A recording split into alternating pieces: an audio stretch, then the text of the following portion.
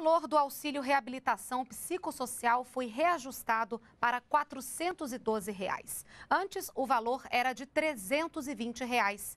Esse benefício é pago a pacientes com transtornos mentais que saíram de longas internações psiquiátricas no SUS e participam do programa de volta para casa do Ministério da Saúde.